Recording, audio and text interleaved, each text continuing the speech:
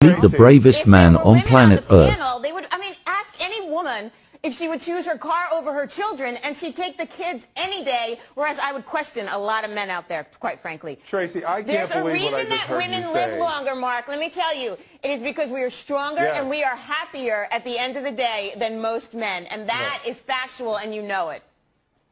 When when men are married to women who scream like you, they just want to die sooner. I'm not